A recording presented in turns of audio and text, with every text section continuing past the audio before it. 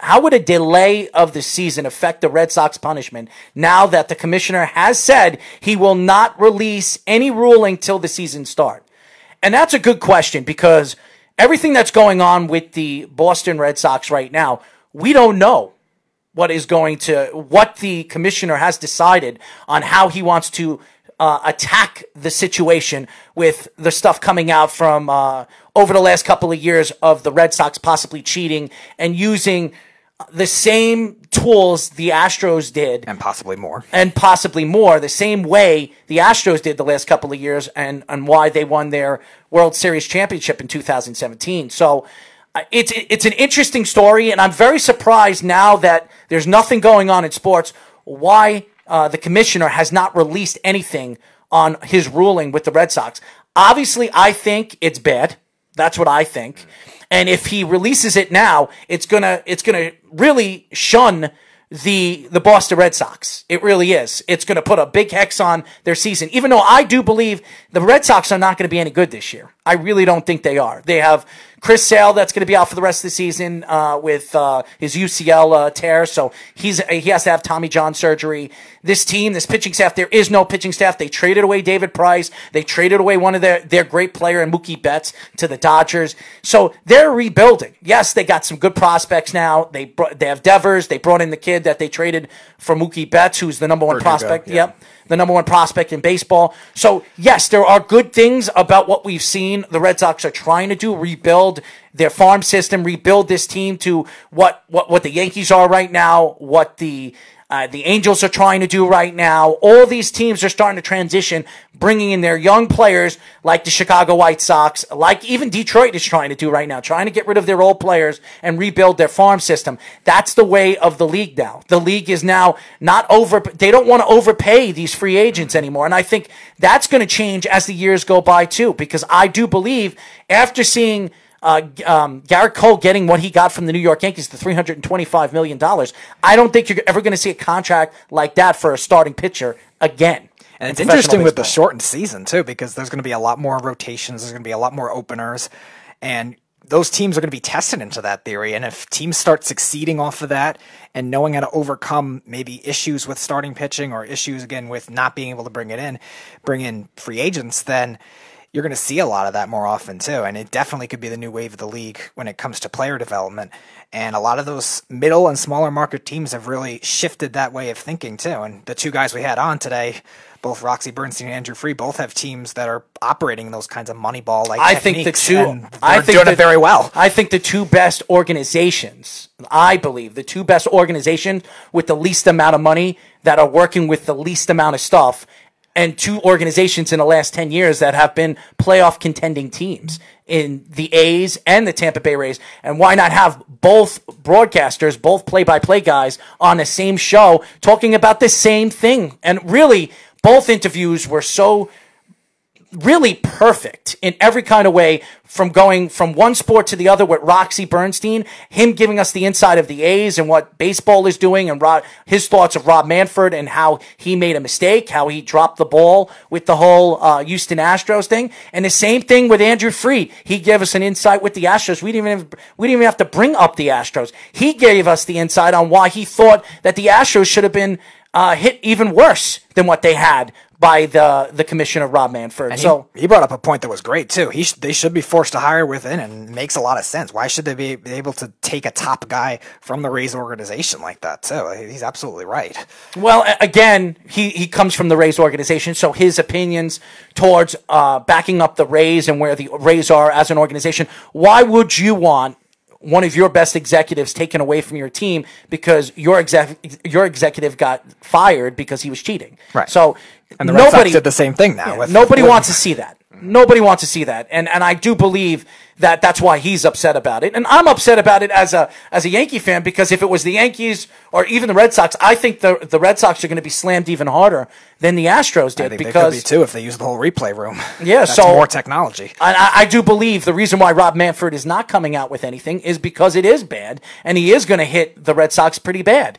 And this would be a big story. And the Red Sox are one of the big teams right now in the major leagues, one of the most popular teams in the major leagues. And if this comes out, it could really really put a not only a hex of where the season is right now because we don't even know if we're going to have a season, Right. but now that's the top story. It was the Astros. It's died down. The Astros story is dying down, and everybody is looking forward to hearing what he has found out with this whole investigation with the Boston Red Sox. I want to know what he's figured out and found out with the Red Sox organization because it must have been really, really big because Alex Cora got fired.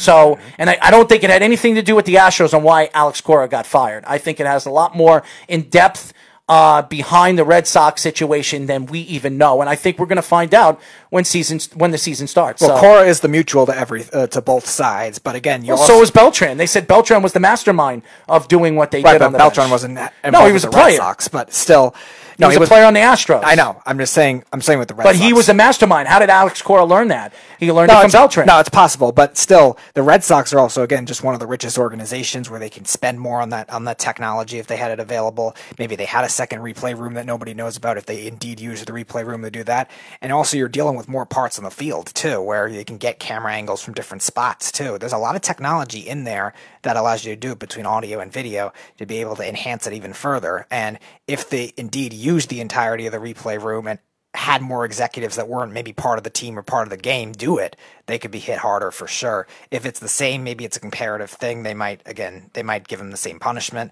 We'll see. But again, this could be definitely worse.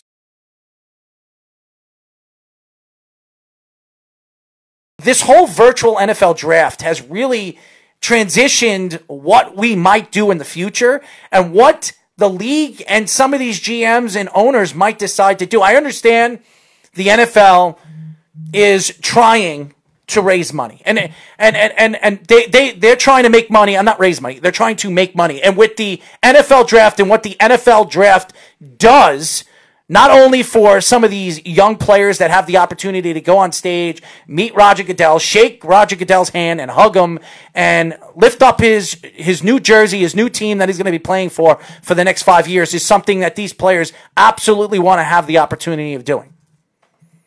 But if they can somehow perfect this virtual NFL draft, just like they did with the WNBA, which I thought was very successful. It was very successful. I think it was was it Friday night or or I think Friday, yeah. it was Friday or Thursday night, if I'm not mistaken. And it was very successful the way they did it. The WNBA did it. Uh, it worked, and it worked to uh, exactly what you know the WNBA wanted to do. How they wanted to bring it out to the fan, and for the fan to absolutely tune in and, and watch how the draft and, and where the draft uh, winded up going. But the NFL is completely different there is round after round after round. There's seven rounds in the NFL. With the WNBA, it's only one round, and that's it. So it's going to be very interesting how the NFL and, and some of these executives of these organizations, like the Dallas Cowboys, the New York Jets, the New York Giants, how they're going to interact with each other virtually before they make the decision on who they want to draft. Now, does this change the game this season or change uh, a team's plan this season or for the future? I think for both. Because if this works out very well, I think the NFL might look to do this not even uh, not just this year, maybe next year Really? with everything that's going on with COVID-19. We don't know how this is going to be fixed in in the next year. There might be more problems ahead of us before we get a serum to stop COVID 19, where they're not going to want to have these uh, events like the NFL draft when there's no need for it, and have a bunch, a bunch of people, uh, like thousands and thousands of people in the audience just watching a bunch of players go on a stage, raise up a jersey, and, and kiss Roger Goodell on the cheek. I mean, that's that's my argument with this, and and I, I I swear, as a fan, as a sports fan, you can't be very excited about what you're looking forward to on Thursday night because you don't know what to expect. Now the WNBA is completely different. And yes, the NFL is a multi-billion dollar industry, one of the biggest organizations in professional sports and throughout the country in any organization. Last year, the NFL made $18.6 billion. That's endorsements and everything. Everything rolled up in one. In just the Super Bowl, they made close to a, I would say about three, four hundred million dollars just of endorsements just off of one game. But the NFL, just like every organization, is going to try to find a way to protect the players. That's what they're going to do. Protect the players, p- protect the executives, the owners, even the league. Now, I do believe this is going to change everything. It's going to change this season. Absolutely. And anybody, oh, yeah. anybody that doesn't think that this draft is going to change everything for a lot of teams this season, because one team might have one step up on all the other teams on how they're going to draft and how they're going to use this virtual draft to benefit them. And other teams are not to they're not going to know what to expect. They're going to jump in this expecting the unexpected. Right and it's in- interesting because of what philosophies you're going to go by. Obviously there's some new school teams that are using the analytics using the technology to scout out these players that might think they have an advantage just by watching the tape and maybe scouting them without having to do too much in terms of workouts because obviously a lot of pro days were canceled and stuff like that. But again, it'll be interesting to see also if they end up drafting him, how they're going to end up working him out later. Because when his training camp's going to open, will there be? There's not going to be any rookie mini camps most likely that they usually have in May either. So will that stop people from drafting maybe more project players or players that aren't as refined yet? And might we see more safe picks as a result of that too? Is going to be very interesting. I, I don't know what a safe pick is because you're expecting these players to step into the NFL with a bunch of men. And when I say men, most of these men are in, in the middle age, NFL middle age is like 27, 28. So they're still kids. Sure. But they're stepping in with guys that are twice the size of them coming out of college or twice as fast as them as far as understanding how to make the plays, how to call the plays, or how to align to to make the plays in the middle of the field defensively or offensively. So it's going to take a little while for these young NCAA NCAA players coming out of college to figure out the speed of the game and understanding how to be positioned in position, knowing that there's not going to be practices, there's not going to be really off the field OTAs really. Right. So it's going to be it's going to be a work in progress, not only for some of these teams, but some of these players that are going to have to do this on their own, right. which is going to be something unique that we haven't seen before. I think I'm, what I'm saying is I'm more referring to the prospects that we know what they are, but maybe they don't have as much upside. Like they are what they are and they're great already versus a player that maybe has, if they get enough moves, if it's, you're a pass rusher, like if you, receivers, different types of catches, different types of routes.